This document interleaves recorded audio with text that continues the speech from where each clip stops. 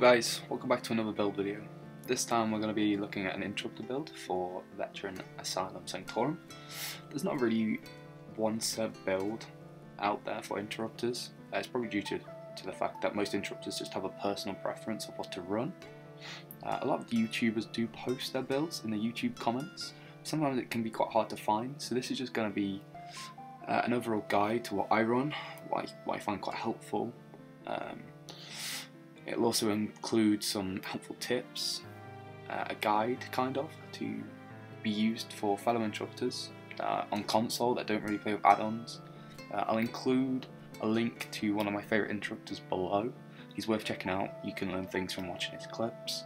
Uh, I'll link a timer as well, which is what I use to time Llothis whilst interrupting. It's really easy to use, really simple, really great. So let's get right into the build. So there's quite a lot you can run as an interrupter in VAS, Burning Spell Weave, Siroria if you can stay in the stacks. Um, this is what I tend to use. So we're running an Asylum Perfected Inferno. It's kind of pretty common sense to use an Inferno as soon as you're using Crushing Shock on your front bar in most rotations to interrupt. It just gives you that extra bit of damage when weaving. We're running a Maelstrom VMA staff on the back bar. Now the enchant on this is important. You can run a Berserker enchant on this if you want to. I'm running a Magic Return Glyph currently just due to the fact that I'm not running Dark Deal or Balance. I'm going to run 2 piece Ilambris for extra cleave. Now if you want to play it safe, you can use Iceheart, which is highly recommended. The shield from this is incredible. Uh, and with the next set that we're using, we're pretty much always guaranteed the shield. So our next 5 piece that we're choosing to use is Mechanical Acuity. Now you can use many things. You could use Burning Spell Weave, you could use Scathing Mage, you could use Siroria, uh, but this is what I find most effective just due to the fact that it gives you some really nice max stats and the max stats are quite useful. With this we're running 3 willpower, 2 bloodthirsty, 1 arcane. Seems to be the best setup and most recommended. All spell damage. Now for the skills there's really only one kind of flex spot that you can use.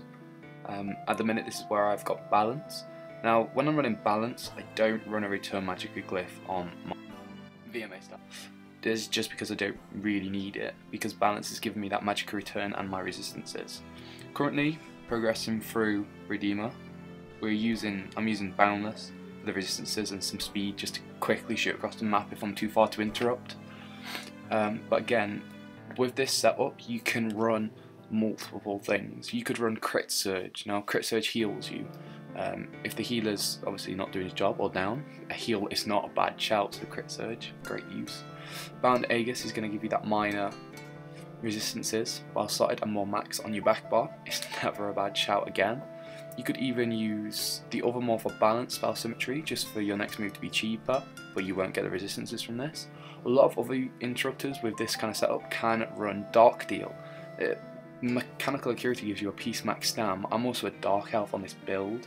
I tried it just to see what kind of extra damage I could get out of this. Uh, and as you can see, Dark Deal, you can use it quite effectively. The only thing you've got to watch for is those Llothis cones if you're out of stam to block them.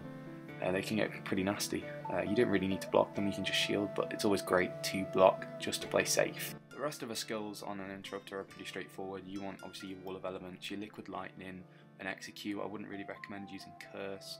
Uh, you want your crushing shock, you want a destral, you want atro for the extra damage in the group. Okay, for the rest of the video I just want to quickly talk about the basic Llothis mechanics which can help any interrupter progress through fast. So firstly, Llothis is up for 3 minutes, that's the longest you want him up because after that he's going to enrage. His downtime is 40 seconds. You want to be telling your group that Llothis is about to be up 15 seconds, 20 seconds in advance.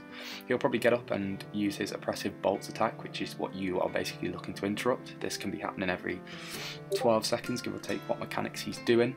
So if you're on console playing like I am, you want to be spamming Llothis in your head after counting to 12. Um, and then getting ready for that interrupt to make sure that he doesn't cast and damage your group. The only other mechanic that Llothis does is a cone, which is happening to me now.